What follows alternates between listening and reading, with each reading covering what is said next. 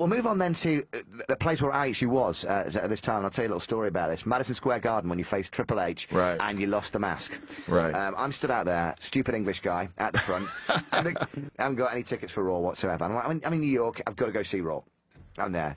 The guy's uh, touting tickets out the front for, for everything. I said, "Have you got WWE tickets for tonight?" Yeah, I, I can get you. I can get you front row. Brilliant. How much are they? I'll do them for a thousand bucks. Oh, my All right, and I'm like, I'm like, front row, yeah, brilliant. Right. He follows me to the cash machine, go to the ATM, I get him the thousand dollars, give him the money. He says, wait there, I'll be back in ten minutes. Never came back. Oh man. Yeah, yeah. So I ended Don't up, give someone a thousand dollars especially in New York. yeah, yeah. So I ended up buying some forty dollar tickets and sitting right in the skies. But the mask came off that night. I mean, was, was that a thing in your head? Because you know we've been building up and building up to it for like a few years, mm-hmm. but it, you know we never knew if we were going to get it. Right. Because I remember watching um, a bit of Jim Cornette and a bit of Paul Bearer talk about it at the time. Going, you can't take the mask off, Kane. No, I don't think so at all. Uh, I was very confident that I was going to be able to pull it off. Uh, when I had the mask on, um, I think that made me a much better performer because I had to, uh, you know, elicit emotion by using body language, and uh, and that's how I would have to get across things to the audience, right? So I knew because of that, you know, that once I took the mask off, uh, I would also be able to use my face. So I thought that would make me that much better. And, uh, you know, I, I had complete confidence. In fact, they weren't the only people. I Yeah. think the only people that really, really were behind the idea uh, were myself and the other guy that mattered, Vince. Yeah. Yeah. Um, everybody else was sort of of the mind of, well, it's not broke, so don't fix it.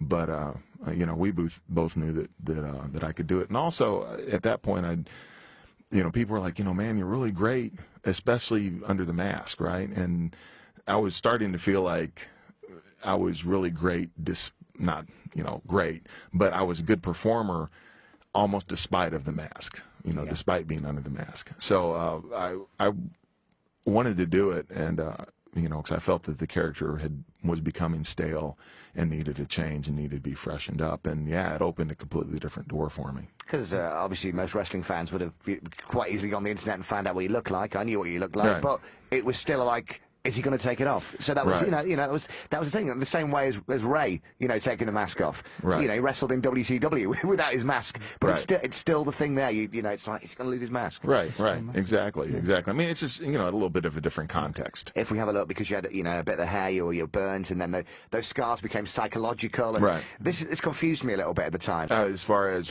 I'm Uh, sorry. As far as you you you were burnt, the you know the black on your face. and Well, everything. the black was just makeup. Yeah. That wasn't. Yeah, that wasn't a burn. And Yeah. And the idea all along was was that the scars were psychological, which to me made the uh, you know made Kane that much more messed up because you know if uh, if the scars were real and then he put on a mask, you could understand that. Yeah. But he really is a monster psychologically if the scars were never there, but he thought they were there, and his, it was uh, his own self image which had been distorted. And obviously, they couldn't literally burn you or put you on Well, makeup every no. day.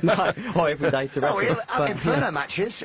but Yeah, one, I have been burned. one of the things I remember at the time, it's one of those moments where you just really hate wrestling. That I'd bought into this idea of this character as Kane, and he's so ugly and he's so disfigured, and that's why he can't show his face. Right. And then at that moment, oh look, he's all right. He's just got a bit of dirt. Are you, flir- are you, Yeah. are you flirting here? No.